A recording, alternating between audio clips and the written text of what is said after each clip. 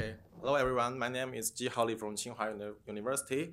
Today I'm going to share our team's latest work on the low Earth orbit satellite networks named uh, SATGUARD, concealing endless and bursty packet losses in LEO satellite networks for delay-sensitive web applications.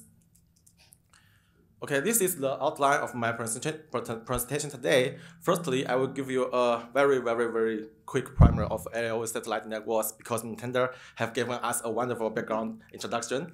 And then, uh, secondly, I will share our observation results about the web web performance in emerging in emerging LEO satellite networks.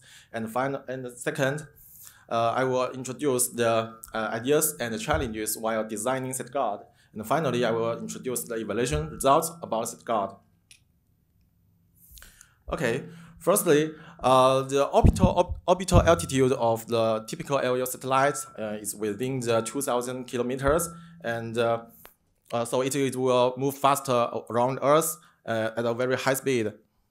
And as the cost of launching satellites uh, it's decreasing. So many companies have provide have have, pro, pro, have deployed many satellites in space to and uh, which of them can connect to each other in with the inter-satellite links. And this is the space segment of uh, LSN.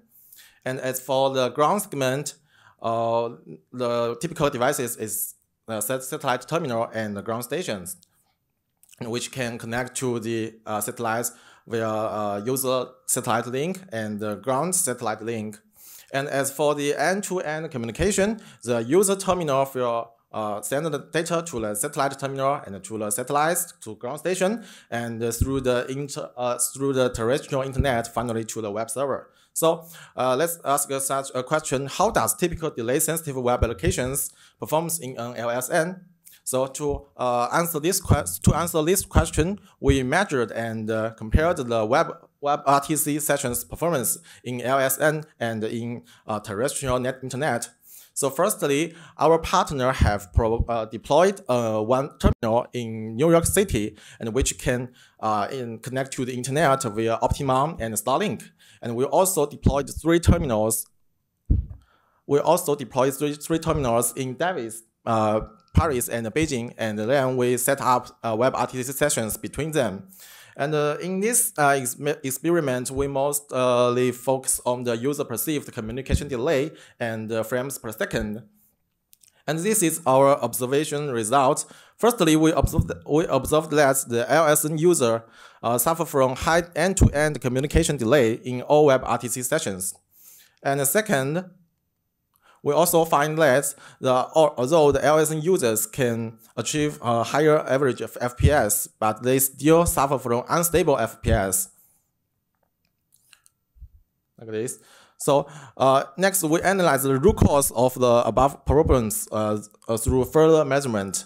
Firstly, uh, we found that the LSN users suffer from low average but high bursty packet loss, packet loss rate. Specifically, uh, the average packet loss rate is only 0.8%, but the we can find that the bursty packet loss rate may range from uh, well 3% to 15%.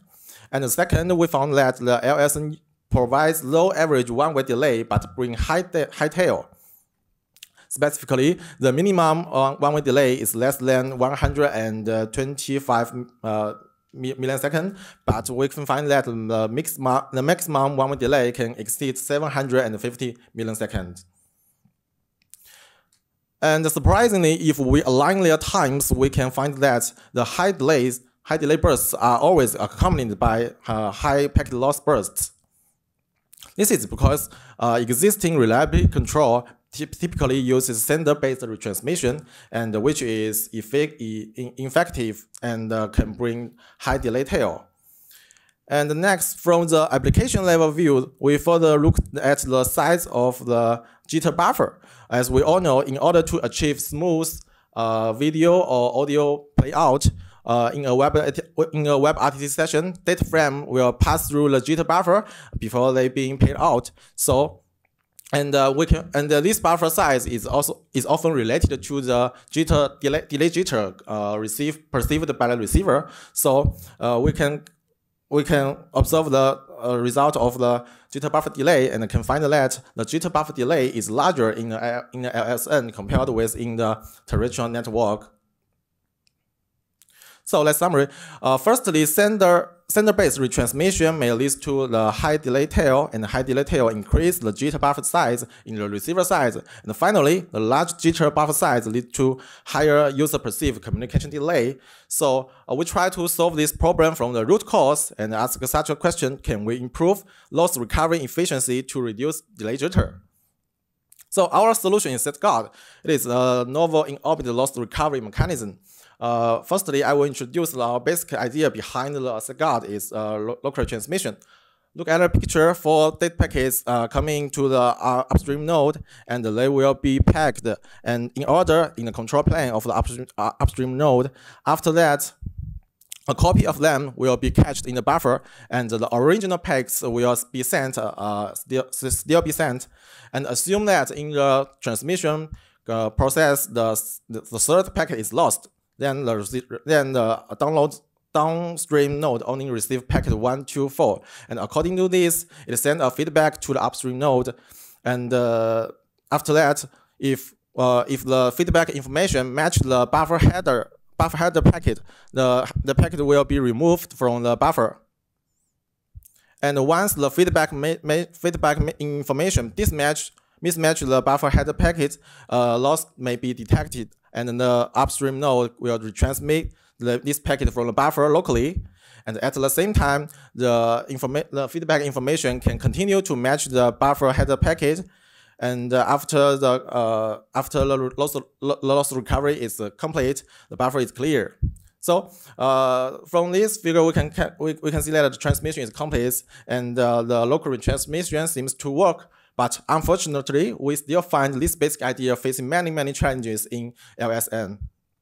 The first challenge is buffer invalidation due to the aerial dynamics. Normally, the upstream satellite node uh, is within the view of the downstream ground station node. So in this in this uh, scenario, the local transmit local transmission packets can be transmitted successfully, but as the satellites move on, it is out of view of the ground station, so the, the link between them is broken down. In this such in this scenario, the packet, the lost packet, the lost, the local retransmission packets may lost again. So in, in other words, buffered packets cannot be successfully retransmitted through the original link after handover. This is the first, uh, this is the first challenge. And the second challenge is inaccurate loss detection in one-to-many links. Firstly, we look at the one-to-one -one link. Uh, in a one-to-one -one link, uh, send packets with order 123 may lead to a feedback packets with order 123. That's right. One-to-one. So we, we, can we can know that one-to-one -one link we can get in order packets can lead to in order feedback. So out of order feedback may uh, can be regarded as the packet loss may happen.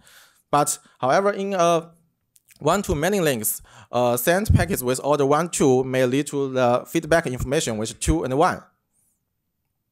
So in this, in this scenario, expected order is disrupted by, by different delays. So in one-to-many uh, links, the in-order packets may not lead to in-order feedback. So out of so out of feedback cannot be regarded as the packet loss. So how to detect loss in such one-to-many links is another challenge. And the third challenge is compatibility problem. Uh, look at the picture. With assume the package one is lost when when transmission, and the package two is transmitted successfully, and then the packet one is locally transmitted in the buffer, but the receiver still uh, receive the packets with order two and one. So we can find the out of order uh, packets is caused by local transmission. So it, so this uh, these events may mislead the up layer pro, pro, protocol behaviors. So this is the uh, compatibility problem. So how does the SatGuard to solve the above challenges at the, at the same time? Firstly, SatGuard use a handover-aware buffer migration to uh, couple with the buffer invalidation problem. And the second, uh, SatGuard uh, can achieve efficient loss detection in uh, one-to-many links via timer adaptation. And the third, uh, third one, uh, SatGuard will uh, preserve the network, uh, preserve the packet order in the net in network.